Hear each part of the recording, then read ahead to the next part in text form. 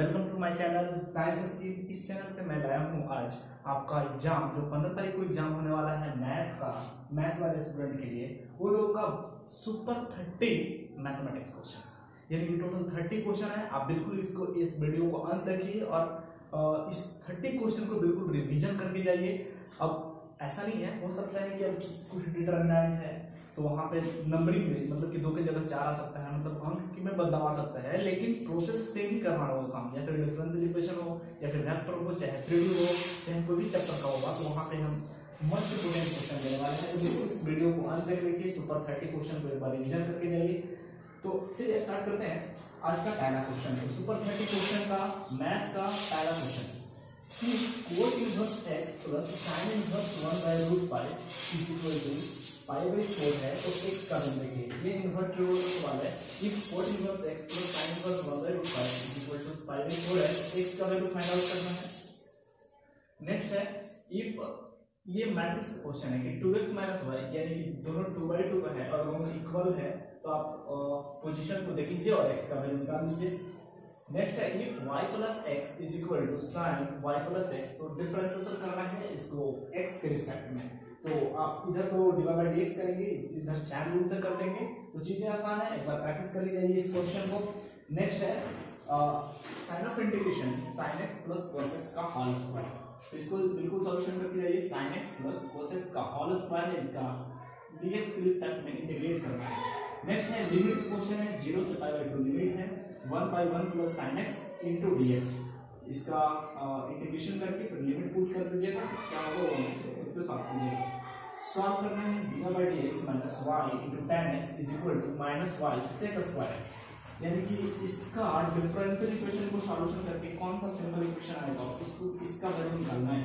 D by d x equal minus y tan x is equal to minus y sec square x next seven number zero से five two limit है। Sin x upon sin x plus cos x है into dx है अब जिसको problem आ रहा होगा तो हम पहले ही बोल चुके हैं कि जो हम क्वेश्चन निकाल रहे हैं, वो मॉडल पेपर और क्वेश्चन बैंक से निकाल रहे हैं। ताकि आप जो एग्ज़ाम दिए हुए हैं पहले तो आपको इतना आइडिया लग चुका होगा कि चीज़ें कहाँ से पूछी जा रही है। तो यहाँ से हम सुपर थर्टी जो क्वेश्चन निकाले हुए हैं आपके मॉडल पेपर से, आपके क्वेश्चन बैंक से निकाले हुए क्वेश्चन है। तो आप इसका आंसर ढूँढने के लिए आप जुड़ सकते हो मॉडल पेपर आपके पास होगा तो उसको पढ़ सकते हो आप। सेम आंसर मिल जाएगा नेक्स्ट क्वेश्चन देखते हैं। If a is equal to vector है, b इज़ इक्वल टू अगला वेक्टर है। और हमसे पूछा जा रहा है कि a प्लस b को पहले जोड़ देना है। तो क्या प्रॉब्लम है?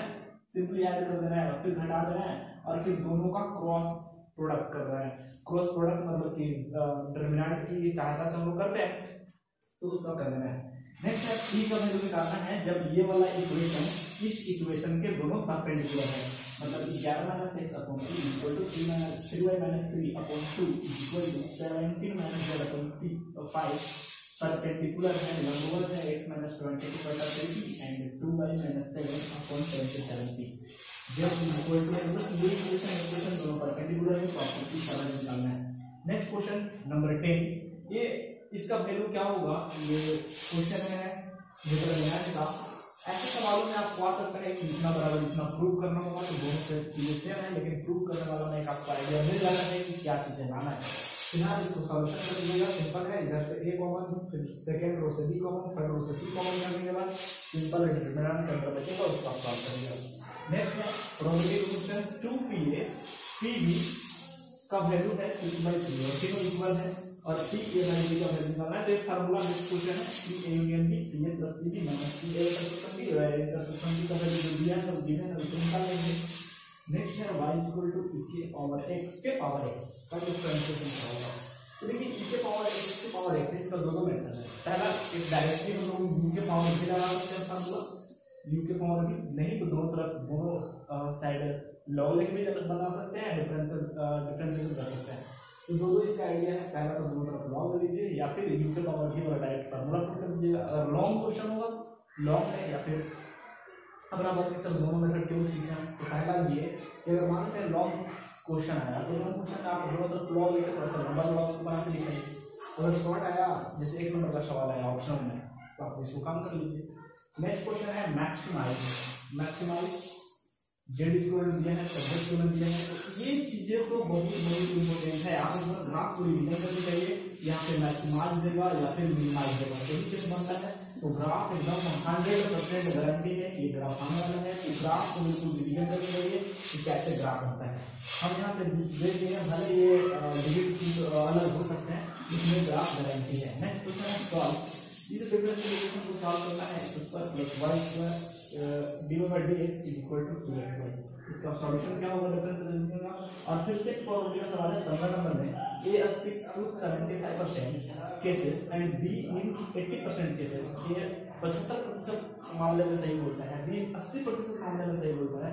तो एक ही तथ्य पर विरोधाभास, यानी कि कॉन्ट्राडिक्शन का हमको प्रोबेबिलिटी सीखना है।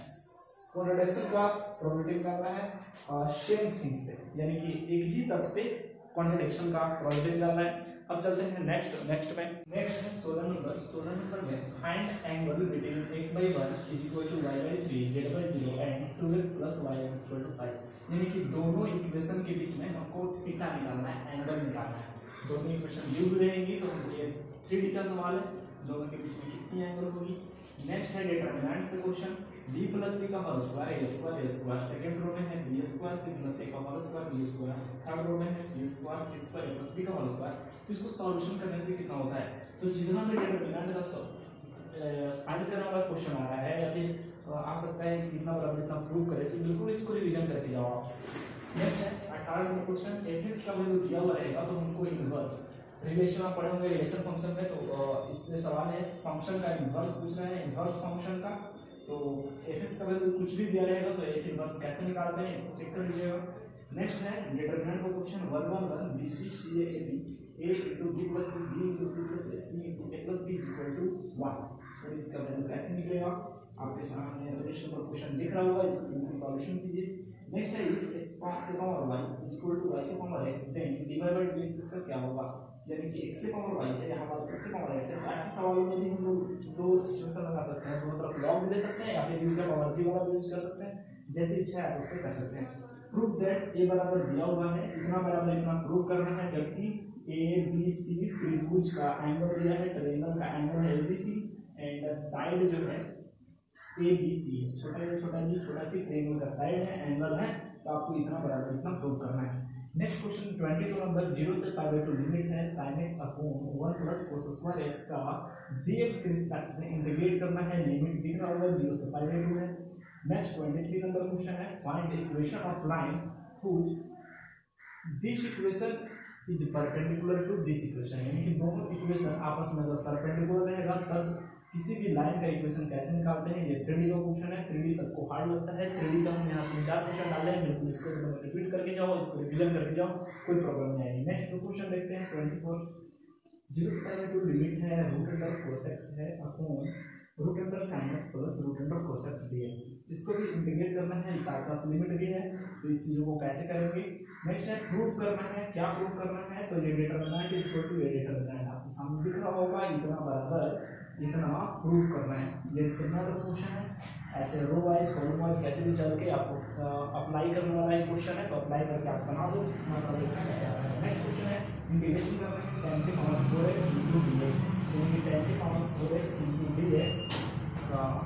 के का है।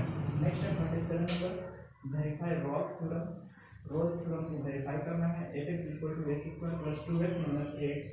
एक्स कहाँ से कहाँ तक बिलोंग कर रहा है तो माइनस फोर से टू तक बिलोंग कर रहा है, और हमको रोज थ्योरम दो थ्योरम होते हैं, रोज थ्योरम और मीन वैल्यू थ्योरम एलएमटी तो दोनों को देख लीजिए हमको Rolle's theorem very very important है तो रोज थ्योरम को वेरीफाई करना है, कैसे किया जाता है क्वेश्चन में देखिए है।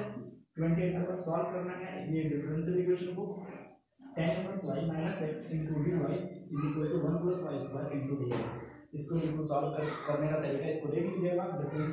क्वेश्चन है नेक्स्ट है प्रोबेबिलिटी का question when two dice are thrown दो पासे अगर फेंके जाते हैं तो क्या प्रोबेबिलिटी है सात और ग्यारह आने का? तो ये ट्वेंटी नाइन क्वेश्चन है और आज का last thirty question dx upon one plus ten x का इंटीग्रेशन यानी one by one plus ten x को dx के रिस्पेक्ट में इंटीग्रेट करना है तो हमें क्या रिज़ल्ट मिलेगी? तो इस तरह से सुपर थर्टी क्वेश्चन को आपने देखा इस थर्टी क्वेश्चन को आप रिविजन करके जाओ एग्ज़ाम हॉल में। और चीज़ें हूबहू तो नहीं बोल सकते हैं, लेकिन मैथ्स है तो यहाँ पे डिजिट चेंज हो सकते हैं। हालाँकि मैथ्स होता है तो मैथ तो कॉन्सेप्चुअल है, आप अपने कॉन्सेप्ट पे आधारित है। तो इस तरह से चीज़ों को फार्मूले को देखकर जो आप कोई दिक्कत नहीं आएगी, बाकी आपके एग्ज़ाम के लिए best of luck thank you exam तो फिर मिलेंगे। थैंक्स